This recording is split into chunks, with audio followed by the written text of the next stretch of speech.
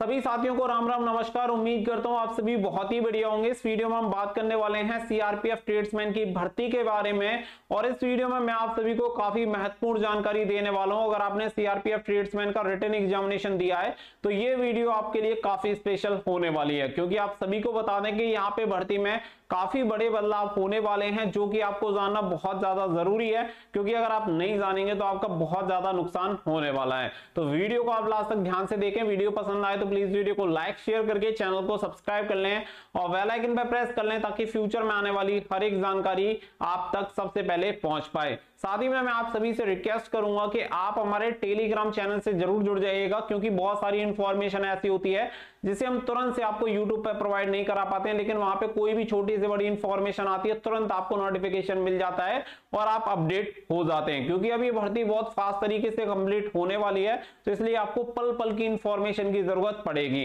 अब आगे बढ़ते हैं और आगे आप सभी को जानकारी देते हैं। तो देखिए, यहाँ पे दो चीज़ें हैं। एक तो आपका रिज़ल्ट डेट फ़िज़िकल कब होगा, साथ ही में कट ऑफ़ तो कट ऑफ़ के लिए मैं आप सभी को कुछ चीज़ें बता दूँ और फ़िज़िकल के लिए आप सभी को चीज़ें बता दूँ। इससे पहले आप सभी को याद दिलाना चाहूँगा मैं सीआरपीएफ एचसीएम वाली भर्ती के बारे में। अभी आप सभी को बता दें कि सीआरपीएफ एचसीएम 2022 वाली भर्ती के skill test DB PST DME RME चल रहे हैं। और इस भर्ती में हुआ क्या है कि पहले केवल आपका स्किल टेस्ट होना था, लेकिन स्किल टेस्ट के साथ साथ अब इन्होंने क्या किया है? कि डीबी भी करवाएँगे पीएसटी भी करवाएँगे डीएमई भी करवाएँगे और आरएमई भी करवाएँगे। यानी सब कुछ एक ही साथ कंप्लीट हो रहा है। अब यहाँ पे आपको एक चीज़ बता दूँ कि इस भर्ती के लिए पहले कुल पैंसठ कैंडिडेट को क्वालिफाई किया गया था 1315 पोस्ट के लिए।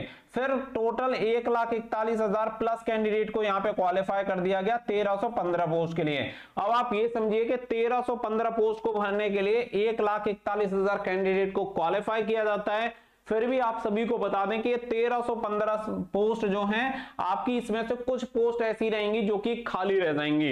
यानी कि आप हालत समझ सकते हैं कि कितनी बुरी हालत हो गई है और उसका सबसे बड़ा रीजन ये है कि सडनली इन्होंने सारी चीज़ें करवा दी और फटाफट से एक ही साथ ये सारी चीज़ें हो रही हैं, जिसकी वजह से बहुत ज़्यादा बच्चे डिस्कालीफाई हो जा रहे हैं। अब आप सभी को यहाँ पे एक चीज़ समझिए कि स्किल टेस्ट की जगह आपकी जो भर्ती है, इसमें क्या है? ट्रेड टेस्ट तो आपका जो स्किल टेस्ट है, वो आपका ट्रेड ट्रेड टेस्ट यहाँ पे रिप्लेस कर देगा स्किल टेस्ट को।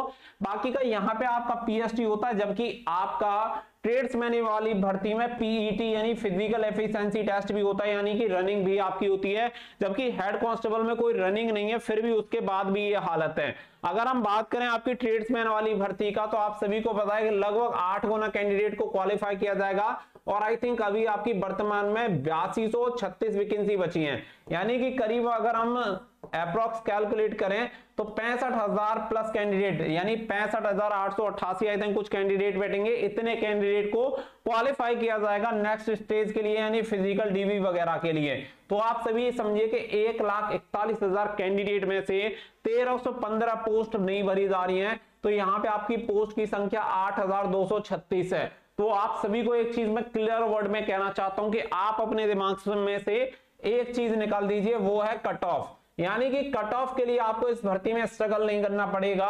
अगर आप थोड़ी भी दम रखते हैं और थोड़ा भी एक बढ़िया प्लान लेके चलते हैं तो आपको इस भर्ती में कट ऑफ़ का तो झंझट रहने वाला नहीं है, क्योंकि इस भर्ती में कट ऑफ़ आपकी बहुत ही कम जाने वाली है। और कम क्यों जाएगी, वो अभी मैं आप सभी को क्लियर कर देता हूँ, क्योंकि इस भर्ती में सेम आपका एचसीएम वाली भर्ती की तरह प्रोसेस होने वाला है। आप सभी को पता है कि देखो, अगली स्टेज में डीबी पीएसटी पीईटी और आपका ट्रेड टेस्ट ये चारों चीज़ें आप सभी की यहाँ पे होने वाली हैं। एक ही स्टेज में चारों चीज़ें यहाँ पे कंप्लीट होंगी DB PST PET and trade test इसके अलावा आपका जो बचेगा, वो बचेगा डीएमई एंड आरएमई जब आप एक चीज़ समझिए कि एक लाख इकतालीस हज़ार कैंडिडेट का एक साथ ये पूरा प्रोसेस कंप्लीट करवा सकते हैं, उसमें टाइपिंग टेस्ट भी कंप्लीट करवा रहे हैं तो इनके लिए पैंसठ हज़ार कैंडिडेट के लिए करवाना कोई बड़ा चैलेंज नहीं है।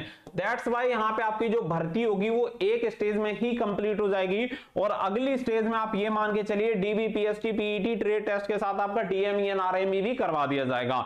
और सबसे बड़ी बात, जो इंटरेस्टिंग बात रहेगी, वो ये रहेगी कि इसका रिज़ल्ट अनाउंस जैसे एचसीएम का रिज़ल्ट अनाउंस हुआ, उसके तुरंत बाद से इसका प्रोसेस स्टार्ट हो गया। सेम इसी तरीके से आपको अपनी ट्रेड्समैन वाली भर्ती में भी ये चीज़ देखने के लिए मिलेगी कि तुरंत से ये सारी चीज़ें करवाई जाएँगी। और जब ये तुरंत से सारी चीज़ें होंगी तो यहाँ पे लगातार बच्चे फेल होंगे। पहली चीज़ तो यहाँ पे बहुत सारे बच्चे ट्रेड टेस्ट में फेल होंगे। बाकी का आप सभी को पता है हाइट चेस्ट वगैरह में भी नॉर्मली काफ़ी बच्चे डिस्कालीफाई होते हैं। फिर इसके अलावा फ़िज़िकल और फ़िज़िकल भी यहाँ पे अच्छा खासा फ़िज़िकल है तो इसमें भी काफ़ी सारे बच्चे डिस्कालीफाई होंगे।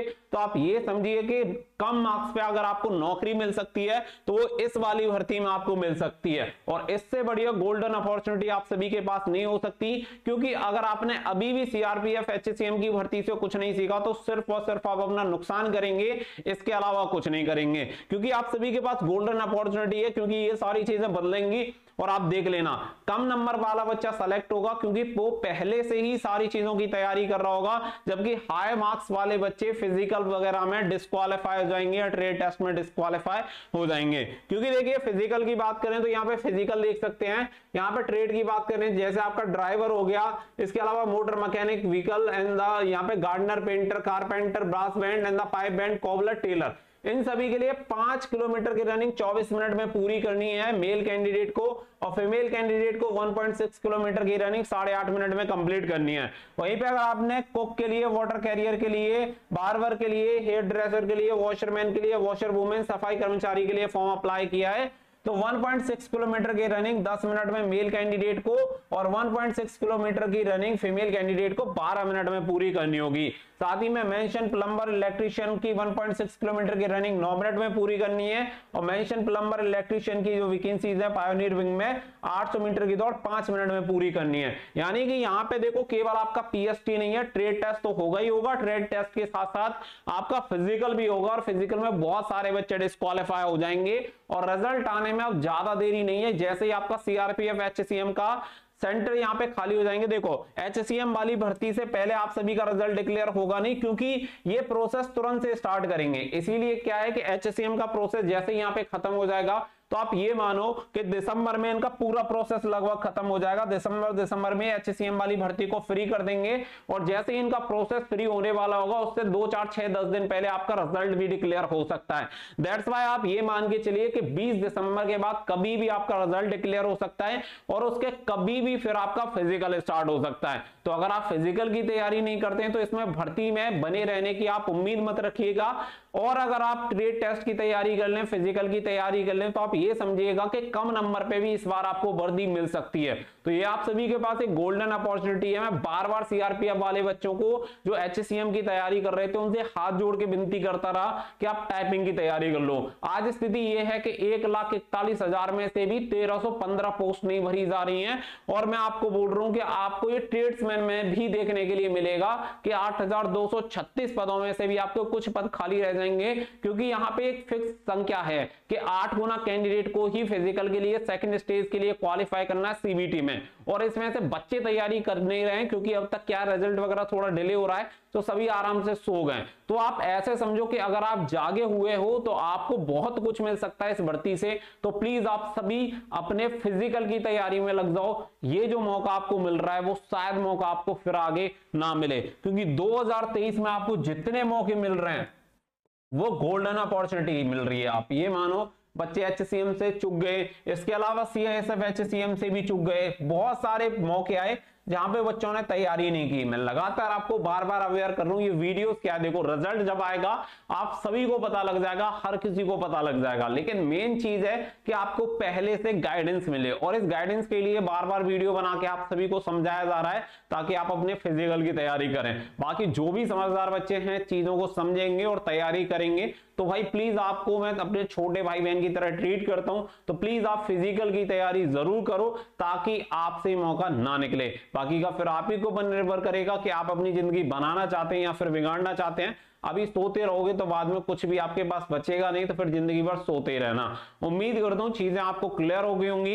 रिज़ल्ट कभी भी 20 दिसंबर के बाद डिक्लेयर हो जाएगा और उसके कभी भी आप फिर ये मानिएगा, उनके 10 से 15 दिन के अंदर वो फ़िज़िकल स्टार्ट करवा देंगे। मिलेंगे नेक्स्ट वीडियो में। फ़िलहाल के लिए बस इतना ही। So thank you for watching जय हिंद, जय भारत।